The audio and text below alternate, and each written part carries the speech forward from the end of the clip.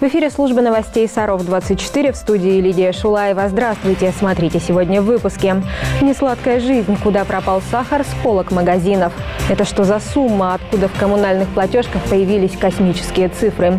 Школа здоровья врач-невролог ПОМСов МБА провел для саровчан беседу о профилактике инсульта. Далее расскажем обо всем подробно. На вес золота цена на сахар растет с каждым днем, но горожане готовы скупать его по любой стоимости. Найти сахар в магазинах становится все сложнее. Специалисты называют образовавшийся дефицит искусственным и призывают граждан успокоиться. Когда сахар вновь появится на полках, какой будет цена на него и хватит ли запасов продукции на складах? В ситуации разбиралась наша съемочная группа. На полке магазина в Балыкове грустят несколько упаковок кускового сахара. Сахарный песок уже весь смели. По словам директора торговой точки, 100 килограммов сахара улетают за 8 часов. За последние дни спрос на продукт вырос более чем в 20 раз.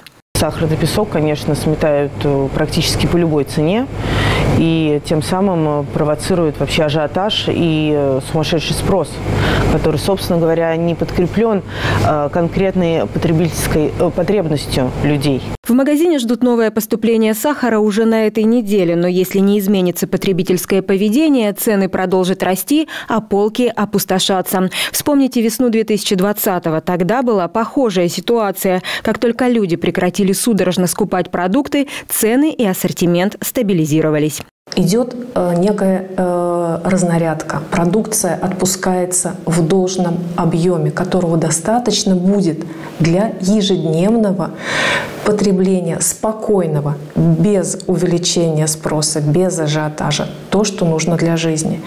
Соответственно, как только мы с вами перестанем сметать товар с полок, у нас в течение ну, небольшого времени цикл восстановится, и товары будут возвращаться на полки. По словам Татьяны Кондратьевой, на складах производителей достаточно продукции, чтобы закрыть спрос на нее. И все, что нужно сделать в сложившейся ситуации – успокоиться и перестать штурмовать магазины. Без товаров первой необходимости не останемся, а вот повлиять на их стоимость можем. Если ажиотаж на сахар не спадет, он повлечет за собой рост цен на конфеты, кондитерку, лимонады, выпечку и многие другие продукты, где он присутствует.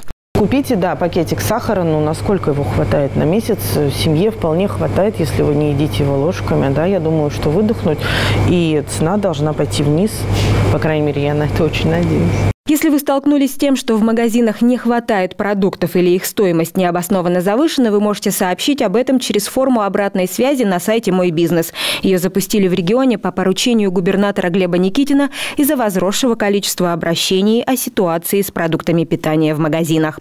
Лидия Шулаева, Константин Островский, Сергей Рябов. Служба новостей Саров-24.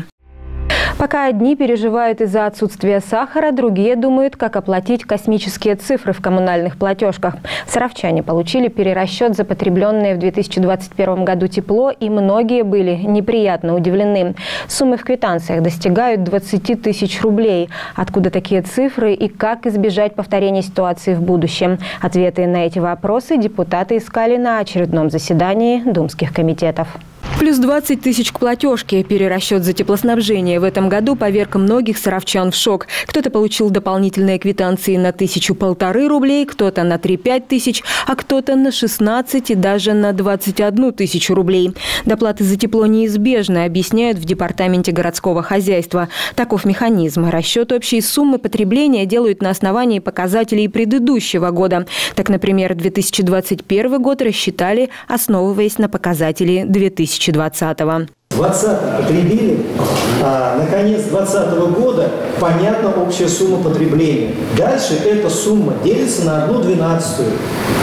И следующий год люди платят каждый месяц одну двенадцатую от 2020 года с учетом показаний приборов, которые были сняты на конец 2020 года. То есть вот фактическое потребление платится в следующем году. Как пояснил Сергей Лобанов, 2021 год оказался ощутимо холоднее 2020 -го. Отопительный период был увеличен на 9 дней, поэтому фактическое потребление тепла значительно превысило показатели 2020 года. Эта разница и отразилась в дополнительных платежках. По сути, люди должны доплатить за использованное в 2021 году тепло. А вот вопрос, почему одни доплатят полторы тысячи, а другие все 20, нужно решать индивидуально. Где-то возможны ошибки в перерасчете, а где-то нужно пересмотреть подход к теплоснабжению дома определяются причины сейчас э, состояния и э, те мероприятия, которые необходимы будут для в дальнейшем снижения э, вот этой огромной дельты по перерасчету. На некоторых объектах, например, на улице Березовой, необходима реконструкция или даже полная замена теплоузла. В домах на Зернова необходимо менять схему теплоснабжения. Все это работа не одного дня и требует в том числе и включения в нее жителей. Еще один вариант избежать перерасчетов – перейти на оплату по факту потребления месяц в месяц. Тогда цифры в платежках увеличатся в холодные месяцы. Зато летом в графе теплоснабжения будет стоять ноль. Пока же так или иначе горожанам необходимо оплатить полученные полученные квитанции. Если сумма неподъемна, можно воспользоваться рассрочкой. Достаточно обратиться в биллинговую компанию, в офис биллинговой компании, их несколько в городе, а, написать простейшее заявление, по-моему, одна подпись, дата и номер, ну, адрес, и, соответственно, получить рассрочку, вам распечатают новые квиточки, новые квитанции, а, и никаких вопросов оплачивать можно рассрочку. На 12 месяцев. Депутаты решили вновь вернуться к теме перерасчетов за отопление через месяц-полтора. Цель – найти решение, которое позволит избежать шокирующих цифр в платежках в следующем году. На заслуженный отдых с поста директора станции юных техников ушла Нина Николаевна Савкина. Новым руководителем образовательного учреждения назначен Алексей Александрович Моисеев. Образование высшее окончил Нижегородский государственный технический университет имени Алексеева. Педагогический стаж 18 лет. Алексей Александрович уже приступил к своим обязанностям. Другая важная информация в подборке коротких новостей.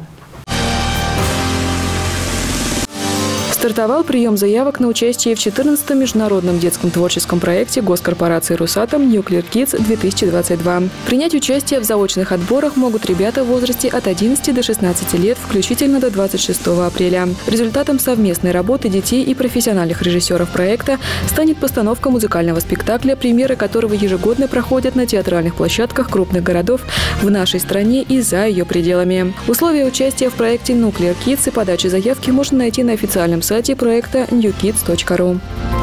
Сова из Хогвартса все-таки добралась до нашего города. Погрузиться в волшебный мир Гарри Поттера можно в Конториуме. Там юных саровчан ждут на бесплатные инженерные каникулы. На протяжении четырех дней с 28 по 31 марта пройдут творческие технические мастер-классы от наставников-волшебников. На каникулах ребята смогут познакомиться с языком Python, найти философский камень, научиться использовать приложение Vervin, создавать свой видеотур и распределяющую шляпу с помощью сервиса Scratch. Записаться можно в сервисе «Навигатор» как на один день, так и на все четыре. Факторы риска, приводящие к появлению инсульта, особенности его диагностики, медикаментозного и немедикаментозного лечения. Об этом и многом другом в рамках проекта «Школа здоровья» саровчанам рассказала врач-невролог, заведующая приемно-консультативным отделением КБ номер 2 ФМБА России Елена Ким. С августа 2020 года ПОМЦ ФМБА России координирует деятельность подведомственных медицинских организаций в ПФО. Так, Приволжский окружной медицинский центр оказывает КБ номер 50 экспертную помощь, предоставляет методическую поддержку и содействует маршрутизации пациентов. Кроме того, по приглашению КБ номер 50 нижегородские врачи проводят для саровчан школы здоровья, на которых рассказывают о профилактике различных заболеваний. Очередное занятие было посвящено инсульту. Я постаралась уделить э, больше внимания первичной профилактике инсульта. То есть наша задача, чтобы у пациентов его не было. Да? И, как я уже говорила, что первичная профилактика инсульта – это его предотвращение. И основные э, факторы риска развития инсульта – это артериальная гипертония, это а, сахарный диабет, это излишний вес. Благодаря современным технологиям и выстроенной в России системе оказания медицинской помощи больным с подозрением на инсульт, смертность от него снизилась более чем в 10 раз. Вместе с тем все еще велик риск рецидива острого нарушения мозгового кровообращения. Вторичная профилактика уже не может быть без медикаментов. А, и тут особое значение а, уделяется, опять же, коррекции артериального давления, липидного обмена, уровня а, глюкозы крови, но и факторы, э, которые мы можем модифицировать, это двигательная активность, это диета. Профилактика инсульта – это не первое занятие в рамках школы здоровья. Ранее с саровскими пациентами встречались кардиологи ПОМЦ. После каждой лекции слушатели всегда могут задать приглашенному специалисту свои вопросы. Почаще приглашайте из Нижнего, там очень сильный персонал. Я жалею, что до этого еще была какая-то лекция, по-моему, по суставам, и я вот не присутствовала на ней. Помимо лекций в рамках школы здоровья клиническая больница номер 2 ПОМЦ активно сотрудничает с КБ номер 50. Сложных пациентов из Сарова Нижегородское учреждение госпитализирует в свой стационар. Кроме того, специалисты из областного центра постоянно находятся на связи с коллегами из нашего города, оказывают как очные консультации, так и работают в рамках телемедицинских проектов. Следить за графиком встреч школы здоровья можно на сайте клинической больницы номер 50. Посмотреть мультфильмы и выбрать лучшие из них. В очередной раз городская художественная галерея принимает участие в акции «Открытая премьера», которая проходит в рамках Суздальского фестиваля анимационного кино. С 16 по 19 марта зрителям покажут 49 новейших российских короткометражных анимационных фильмов. После можно будет проголосовать за понравившиеся. Подробности далее. Увидеть первыми и выбрать лучших главные российские анимационные премьеры покажут в городской художественной галерее с 16 по 19 марта. Всего 49 мультфильмов. Наряду с новыми сериями известных проектов «Простоквашино», «Зебра в клеточку», «Приключения Пети и Волка» свои работы представят и начинающие аниматоры. И у всех равные шансы получить приз зрительских симпатий. В каждой номинации, в каждом возрастном цензе будет выбран э, зрительским голосованием лучший фильм. Мы буквально в, э, в режиме онлайн отправляем эти данные каждый день э, организаторам. И 20 марта Суздале будет вручен приз зрительской симпатии, который выбирает вся страна, и мы в том числе. Мультфильмы ежегодно показывают почти на 700 площадках в десятках регионах страны в рамках акции «Открытая премьера» Суздальского фестиваля анимационного кино. Картины разделены по возрастным категориям. Самых маленьких ждут сборники 0+, и 6+. Авторские анимационные фильмы 12+, рассчитаны на ребят постарше и порой несут скорее философский, чем развлекательный характер. Вход на фестивальные кинопоказы бесплатный и групповое посещение по обязательной предварительной заявке. Девочки соревнуются, мальчики оценивают. Традиционно в марте в бассейне «Дельфин» проходят соревнования по плаванию. Участвуют в них только представительницы прекрасного пола. А вот в жюри – мальчики-спортсмены, которые специально к турниру проходят обучение и получают удостоверение судей.